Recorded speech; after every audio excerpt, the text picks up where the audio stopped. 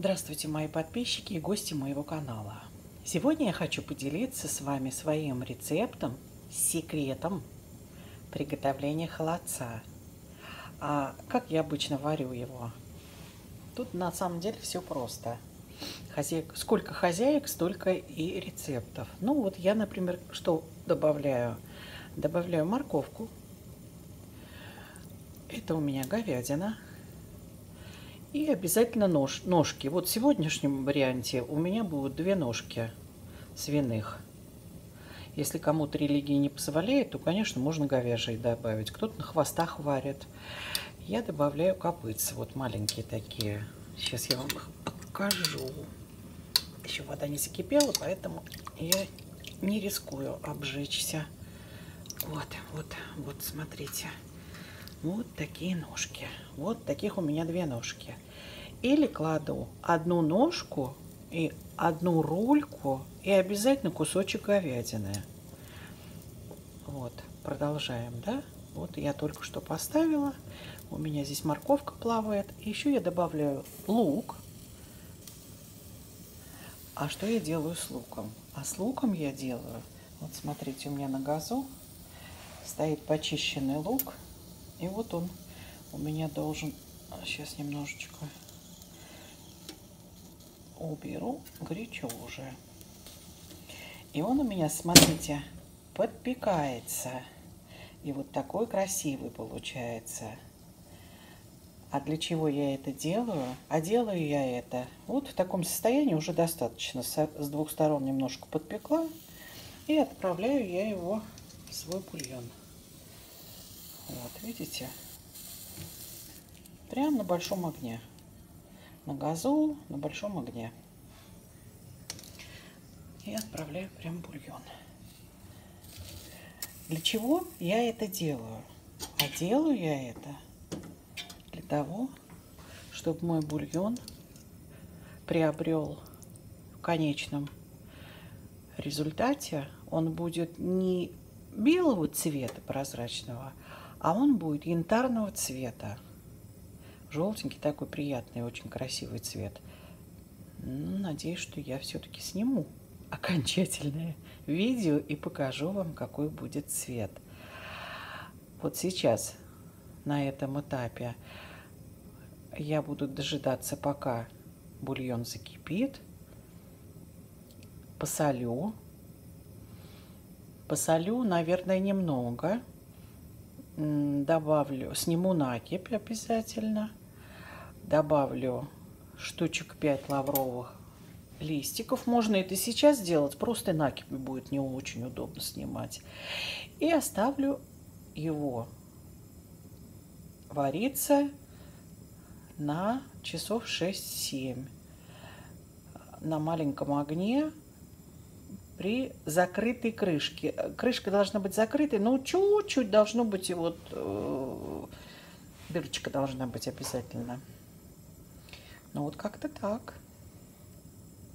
А потом расскажу дальше, что я делаю дальше.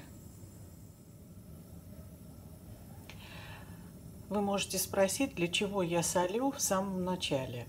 А э, это очень, на мой взгляд, это очень важное, потому что я люблю, чтобы холодец был прозрачный. Если, если вы не любите, вам в принципе все равно, какой он будет, прозрачный, непрозрачный, тогда можно солить любой период.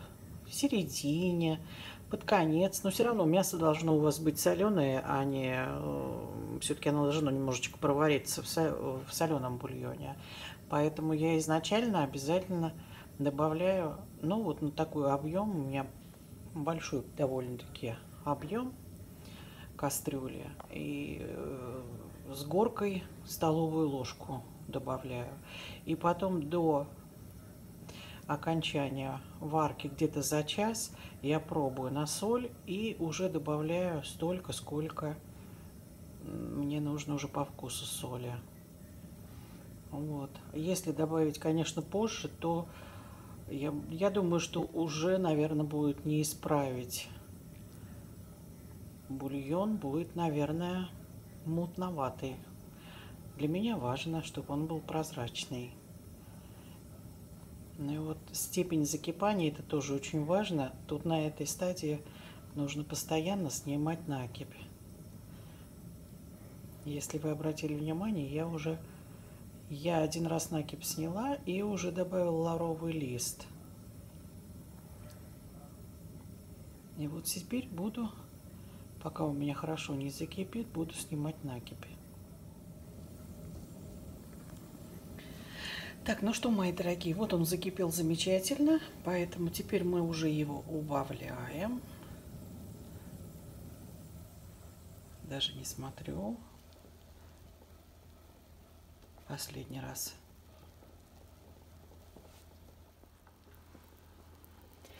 Так, ну вот мой холодец закипел окончательно.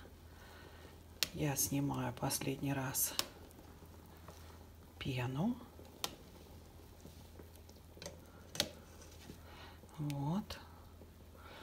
У меня уже можно видеть, что он уже даже сейчас прозрачный. Вот. Видите, как он красивый. Он уже не белый. Вот теперь мы накрываем чуть-чуть, чуть-чуть прям оставляю. И на самый маленький огонь. Самое главное, чтобы он чуть-чуть кипел. Вот так вот. Этого достаточно. Ну все. Я обычно варю ночью. Я пошла спать. Стану пораньше и буду разбирать холодец.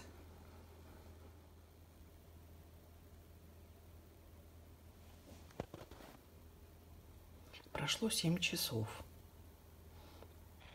И вы смотрите, какой он красивый. Теперь у нас с вами задача все вот это вот выложить на сито.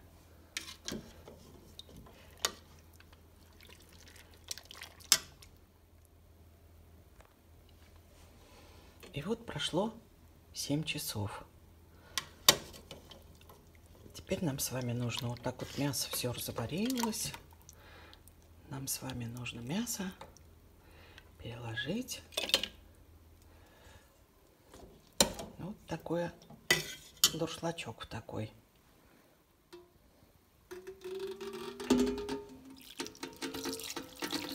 А бульон процеживаем через сито.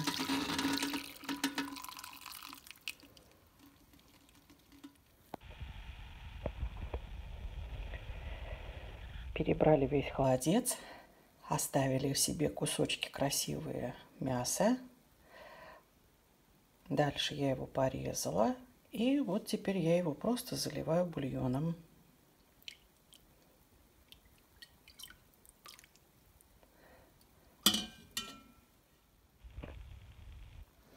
Весь холодец разлила. У меня получилось два лоточка. И теперь на этом этапе я добавляю через чеснокодавку, обязательно через чеснокодавку, выдавливаю сюда чеснок. Вот в таком виде, пока он еще горячий. И вы Чеснока я не жалею. Где-то у меня приблизительно, наверное, вот на такой уйдет э, головки 3, вот на такой лоточек побольше, головки 3 больших. Ну и на этот тоже, наверное, головки 2. Буду пробовать по вкусу. И на этом этапе еще можно его немножко досолить. Я даже немножко больше добавила чеснока. И вот на этом этапе чуть-чуть я присолила. Его можно и перемешать, все равно мясо успеет осесть. Вот в таком виде мы теперь оставля... оставляем до полного остывания, а потом отправляем в обычный холодильник и даем ему застыть.